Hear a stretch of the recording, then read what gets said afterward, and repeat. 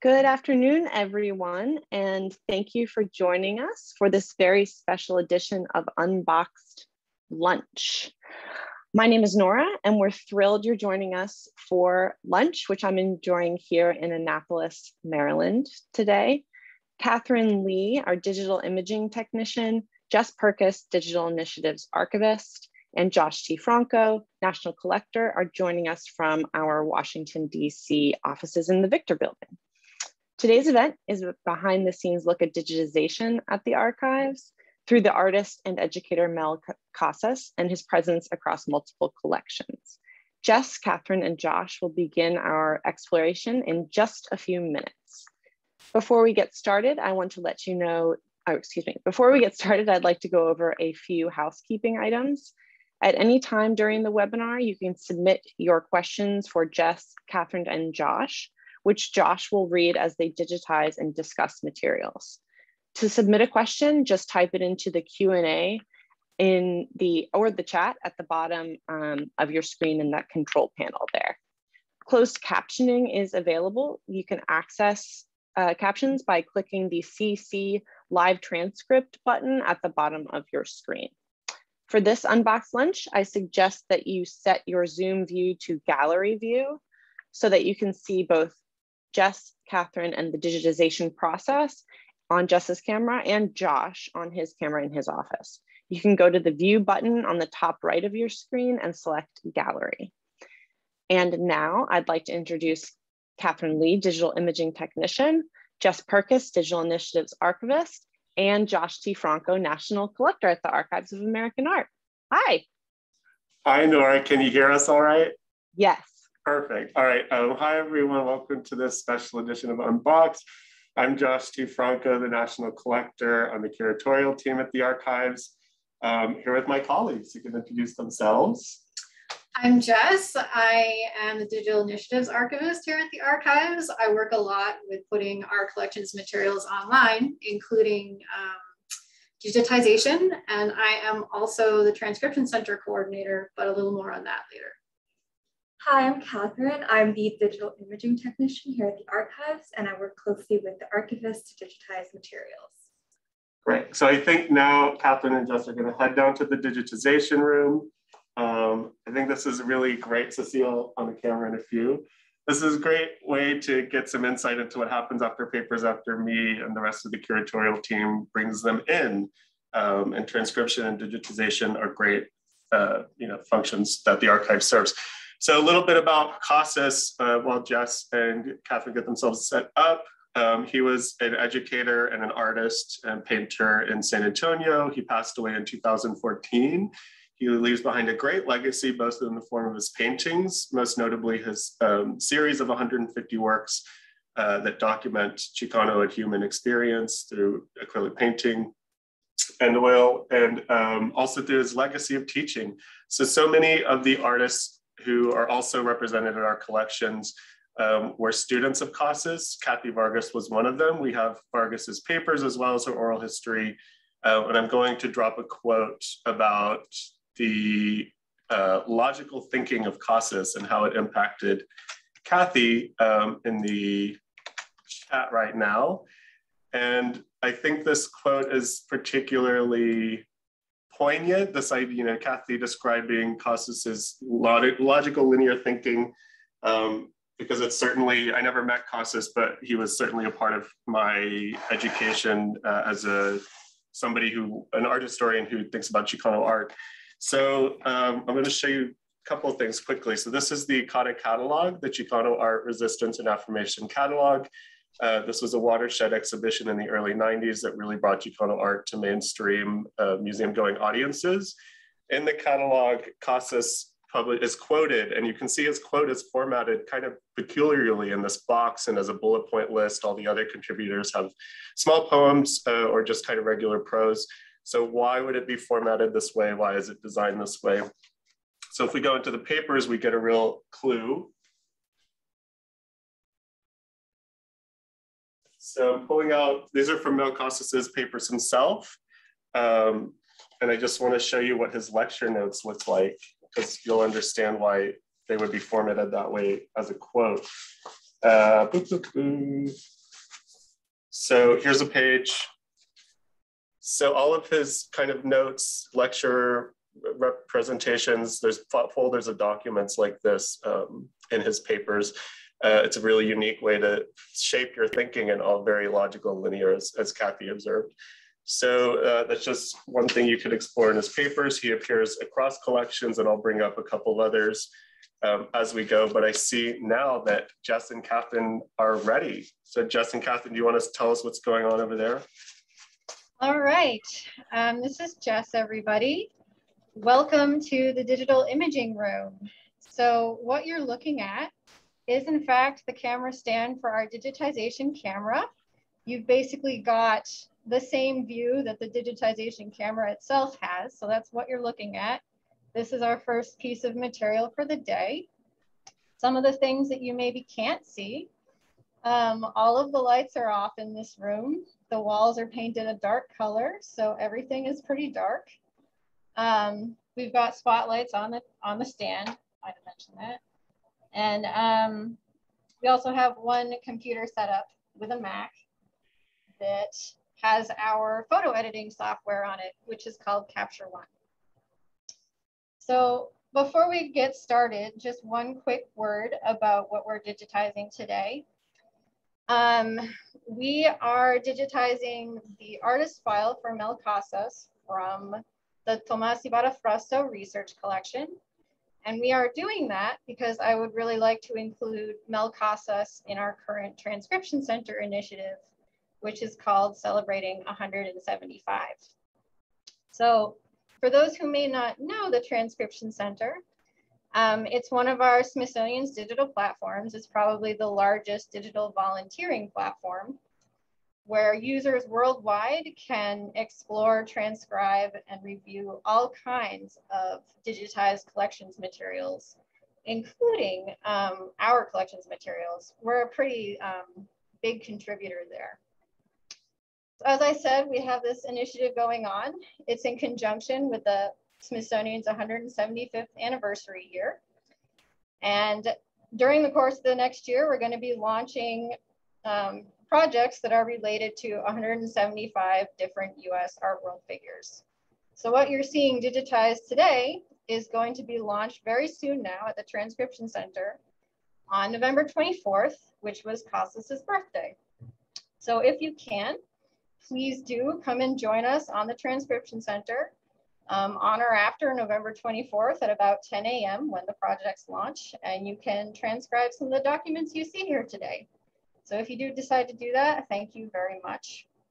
And if there are any Transcription Center volunteers here today, and there might be, thank you for all that you do.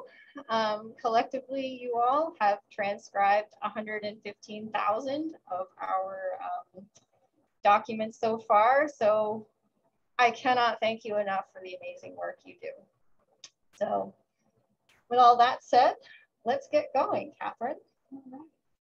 So here in our digitization lab um, today, we you are currently looking at the golden thread color target. We use this target to read out um, the labs to make sure that the color, the exposure, the white balance, as well as our 600 PPI measurement is accurately captured. And with our camera, if you would like to. Um, one, one thing um, that I will say we tend to use the terms scanning and digitization interchangeably, but I do kind of want to make it clear that we don't actually scan things on like a flatbed scanner here. We actually take digital photographs. Um, Catherine is our photographer. And um, we use a camera called a phase one IXG 100 megapixel, which is quite the camera. When it's up on its stand, it is taller than me.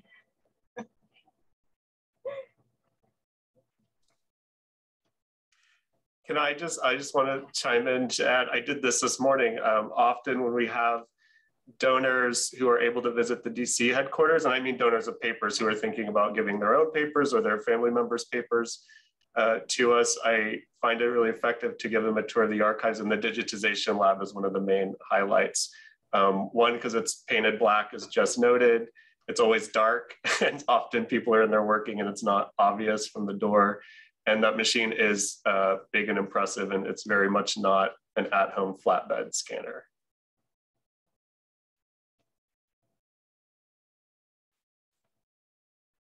You might be wondering what that little white slip of paper is. It's basically just a flag that has some instructions from me, the processing archivist, to Catherine on how she might best scan this particular piece of material because it folds out. Um, in another case, it might be telling her not to scan something. That might seem a bit counterintuitive, but we don't actually scan every single piece of material. If it's a blank page or a duplicate, um, irrelevant material, we don't scan those. But we also don't scan materials that might include um, personally identifiable information or have some very, very sensitive things on it.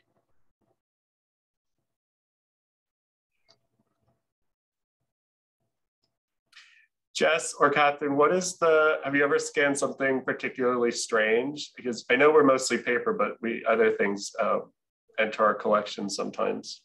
Um, absolutely. Um, I don't know, do you, do you have a favorite already, Catherine? Um, sometimes we have very fragile material that requires lots of delicate handling and materials that we can't quite use acrylic plexiglass as I'm using here to flatten down due to its fragility or um, you know its ability to handle pressure. So I would have to you know very carefully find ways to digitize that without harming the materials such as um, onion skin or paper, that, paper that's crinkling at the edge. That's great. Um, and now, you know, y'all are, where what you're scanning now is a lot of printed material that has great research value and is beautiful. But while you're doing that, I want to show some more uh, unique materials that are in Mel Casas's papers, by which I mean photographs in this case. And there you see Mel um, at an exhibition. We love photographs of exhibitions because, of course, most art shows are not permanent. They're up for three or four months, and seeing how things were hung in relation to one another into a space is really valuable for researchers. And Jess, I believe Mel Casas's papers that I'm showing you now, these have been digitized, correct? Yes, the Melcosis papers are fully digitized. Um, the bulk of them have also been put through the transcription center. Um, after November, pretty much everything that can be transcribed will be transcribed of his papers. So you'll be able to keyword search the materials as well on one of our online archives websites. And Jess, Casas really brings up an interesting challenge we've talked about before, because again, I'm going to show one of these diagrams that are so prevalent in his papers. What would the what would a transcription center volunteer be instructed to do with this? I don't imagine they're told to reproduce the shape of the words. No, um, basically what we decided to um, to have them do is to mark mark the diagrams with a flowchart kind of tag in their transcription text and then to transcribe the text in as logical an order as they can um, can do. And obviously that that is subjective but we can't replicate, you know, as you said, the shapes or the like images. we see right now. Yeah. Yeah. Um, and a, a good question from Janice Ekdahl. How do you scan, photograph a volume of newspaper clippings with a one inch or more spine? Interesting question. For, hi, Catherine speaking. For bounded material, um, I usually, if it's able to, I flat it down with plexiglass, or if it's on the more fragile side, I would take capture it one page at a time, where I would hold one side of the spine, flex the other side, and then just crop that in post-production. So very careful scanning and then post-production. That's what Capture One is for. Right. So I'll just, so when I walk in on someone in the digitizing lab working away like Catherine, um, sometimes they're standing at the, the bed of the, the camera doing what you see now. Sometimes they're looking at the computer monitor that's attached, doing the color corrections, the cropping, the repositioning.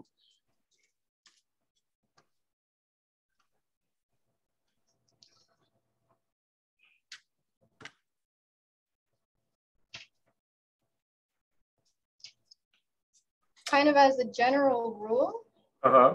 um, things that we do scan, basically anything that has relevant intellectual content. Relevance right. the hard part, obviously. But um, that is what we scan. Doesn't matter if it's the back or the front of a piece of material, we will scan it. Jess and Catherine, Kevin Koppel asked, do you scan under glass or over glass? I believe you have a piece of glass you just you demonstrated. You might show again. Yes, Catherine speaking. Whenever we use a piece of glass, um, I place it over the, the color target so I can get an accurate reading. And Plex, when you use it, it darkens down the exposure tab. So I always go in post-production and add about 0.2 or 0.3 in exposure so that the lab readouts are accurate. Thank you.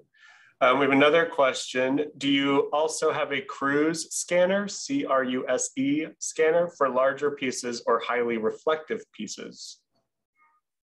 Kevin speaking again. For larger pieces, we use a technique called stitching.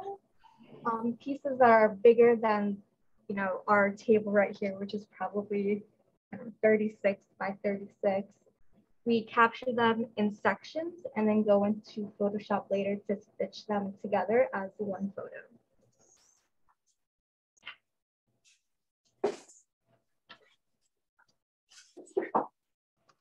Thank you, Catherine. Um, so while we're waiting for more questions to roll in, I want to point out um, something else in another collection. This is Mel Across Collections, after all. So besides the Mel Casas papers, the Tomas Ybarra-Frausto papers, which is what you're seeing Justin Catherine work with now, the portion um, relevant to Casas, uh, and three or four oral histories he appears in, we, um, it was, you know, a collection I was able to steward myself uh, with the Nancy Kelker research materials related to Mel Casas. So research materials about a particular artist or theme is a whole uh, kind of subcategory of our collections um, because they're often really unique and val research valuable material. So um, Nancy Kelker published the book Cultural Adjuster about Mel Cultural Adjuster was the term he used to describe his own activity. It was uh, the term that was on his business card he would hand out to people. Our interim director, Liza Kerwin, received one of these from Mel in the past. Um, so cultural adjuster is a really interesting term and um, what he described his work as. So here we have a little cassette tape. And Jess, I wonder, let's talk about digitizing audiovisual uh, material maybe a little bit if you want to chime in. This is a um, little tape. It's uh, the label on the folder is Casas interviewed by Vincent Valdez, who's a um, younger artist. So just continuing to show how Casas um, legacy just lasts and lasts. So Vincent Valdez is a excellent painter. Uh, I'm really, you know, this is one of those things I want to get digitized so I can hear myself. Um, Jess, do you have a sense if this is in Casas's papers, would this have been, I know AV we treat a little differently than paper as far as, and you know, it's a little trickier to digitize. Yeah. Um, the AV basically goes through an entirely different kind of work process. Yeah. Uh, we also do that on a Mac. I'm afraid I am not incredibly well versed in that particular workflow because yeah. I work with the textual materials, but. Um, right. Well, that's that can be the next lunch bag, but uh, just so people are aware. And um, yes, I love that there's an interview by Vincent, but gathered by Nancy Kelker in the process of writing this book about Casas. So we have more questions. Um, anonymous attendee asks, I'm curious about what metadata might be assigned to these photos, or is all the quote unquote meta info subsumed included in the cataloging of the archival collection as a whole unit? Let me know if you want me to repeat that. Yeah, could you please repeat that? Yes. I'm curious about what metadata might be assigned to these photos, or is all that meta info subsumed included in the cataloging of the archival collection as a whole unit? Okay. Um, one, one quick, quick thing, we've actually moved on to the CONSAFO file. I Um, saw we that, are- yeah. We are also digitizing. I just wanted to note that as we were going. Um, so we do have technical metadata that gets embedded in the photographs as we take them. Um, you know, I, IPTC kind of stuff. We also have um, kind of this validation process that will um, that basically assigns the photographs to a box folder in our kind of finding aid structure so we can we know where the image is from as we ingest it into our digital asset management system. Um, in terms of descriptive metadata though, um, that is primarily something that is part of the collection description in the finding aid. But there are various levels to that, if that makes sense and answers your question. Yeah, and all our finding aids are available online, so I encourage you to explore them to see how information's organized there. I love all the technical questions. And we have another from Lorna Notch. When, how is this is the decision made to not scan and maybe take photos or some other method? And I mean, I I think scanning and photographing is something, Jess, you you like to clear up with folks actually, right? Yeah, um, I mean, if I'm if I'm understanding correctly, and if I'm not, please please do correct me. Um, we photograph everything basically. That's not um, not necessarily a, a decision that we make, if that makes sense. Yeah, photographing is our default. That's what you're doing now. Uh, We should Yeah. we we use the word scanning loosely around the archive. Maybe we should be more Okay. We, we should be maybe more even more plain. Yeah, we Yeah. we say scanning because it's easier to say than digitization. Yeah. let's let's be real here. Um, but it's it's the same photographing process. As for deciding what does and does not get scanned, that's um, kind of a more complicated process of appraising the material. It could be too fragile. We wouldn't scan it in that case. Um, bound materials are difficult.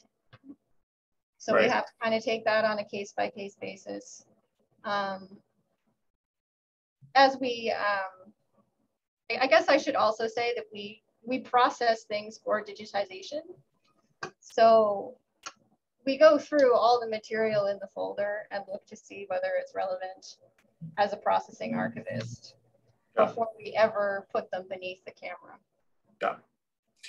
Um, I want to go back to Consafos and what historically significantly that means. But first, uh, Jess, also just want to um, talk about why these are being, I think this is a digitization on demand request you're responding to, but if not this particularly, can you talk about DoD a little bit? It's um, one of my favorite things we do.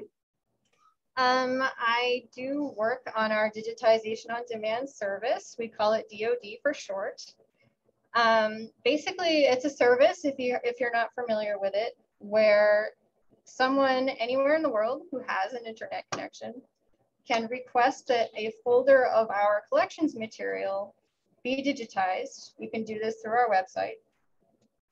Yep, that's that's the request sheet that we uh, we do. Um, Did you just digitize the request sheet? yeah, Great. but we will um we'll scan it in house like we're doing right now, and then we will deliver it to you digitally. There is there is a small fee associated with that, but um, What I love about that is that it, you know, it goes to the person who requested it, of course, but it also goes on our website. And it's sort of like you're doing a great service to the field by um, requesting them for yourself. Because once we digitize, we make them available online as well. absolutely, yep. Yeah. Had So, um, from- oh, go ahead. No, I was just going to wanted to mention. So Casas was a member of the collective Consafo, which was a San Antonio-based collective of Chicano artists, um, one of the most important collectives uh, in American art, not just Chicano art, um, but along with in California counterparts like the Royal Chicano Air Force, um, kind of counter counterparts like ASCO, uh, but a lot of Chicano art was formed through these collectives. And CONSAFOS, I don't know if Jess, if you have a document with that insignia handy to show, um, is always signified with the C slash S. Uh, so it shows up a lot in Casas's papers as a mark, but all over the place. Um, because I am myself a Chicano from West Texas, it's a mark that's been in my life growing up. I saw my mom shared her, my parents were high school sweethearts and they're still together, but their high school love letters have that mark on them at the end after their signatures. Um, and I don't know, Jess, should I show my tattoo? Are we going there? Go for it. Okay. Going there. One more audience question. Let me see. It's on my foot. I'll try to um, not mess up the camera too much. So my foot is not near any papers, by the way. I don't know if that's going to work. You can see a little blurry black mark. Yes, we can that's see the blurry black mark.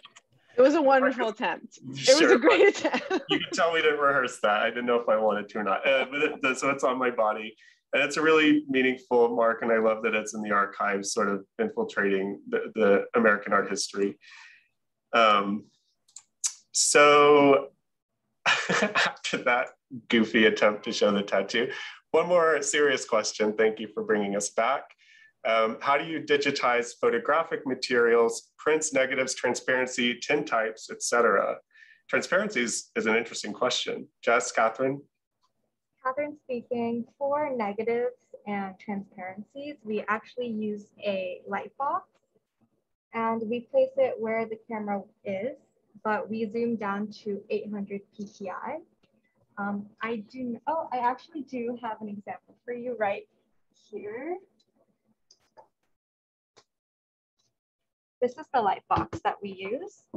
Um, and we just place the transparency on top of there and we turn on the light, which I do not have plugged in at the moment but this is how we would digitize um, our, oh, here we go. Theoretically, if we had a slide, a negative or a strip of film, we would put it on here and digitize it as we do with our other material. Amazing. I didn't even know that. That's great. Thanks, Catherine.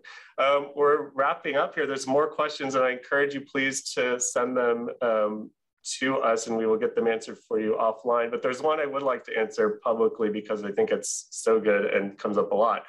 Do you prefer to receive material which has already been digitized or does that potentially cause problems because of incompatible digital formatting? Yes. Such a good conversation, and the, the that's the, one of the questions that me and the other collectors have with donors, um, because you know the impulse to digitize we of course sympathize with and understand. And um, you know, well, one thing that is we don't automatically digitize. When we commit acquire a collection, we do commit to minimal level processing and writing a finding aid, but digitization is not automatic. Um, so that's usually a factor in the conversation. But correct, those the way we have very specific digitizing spec, specs, which is what you're seeing Catherine and Jess run through now. So it would be incompatible. And um, we would we do collect born digital material, but we wouldn't collect born digital surrogates of paper things that we were also receiving. So um, it's always case by case. It's always naughty. uh, you know there's always smaller questions for each case, but in general, that your I think what your instinct is in asking that question is correct. Um, we would not receive, we would not take things that have already been digitized when the paper originals are also available. And Nora, I'll hand it back to you. Thank you, Josh. And thank you, Catherine and Jess. This was fantastic. I'm so sorry we didn't get to more or on the entirety of your questions, which were all really great. Um, if you want to send them to me, I am happy to pass them along and we can continue the conversation. My email is danielsn at si.edu. That's Daniels, D A N I E L S, and at si.edu. I would be glad to pass those along. thanks everyone again. This was fabulous. Um, I want to let you know that support from friends like you makes programs like Unboxed Lunch possible and allows us to share our collections and our processes with uh, users around the world. Hi, Jess, and hi, Catherine. um, uh, so thank you for that. Um, thanks everyone for their support, especially during um, COVID. It's allowed us to keep sharing the legacy of American art with friends around the world. So if you'd also, if you'd like your gift to be recognized during Unboxed Lunch, that is possible. And I'd love to talk to you about that. You can email me, same email address, we can talk about that. And to support the work of our archivists and our collectors, you can always visit aaa.si.edu slash support. Thank you so much. Have a great day. Have a nice holiday. Enjoy the fall, and we'll see you next month. Thank you.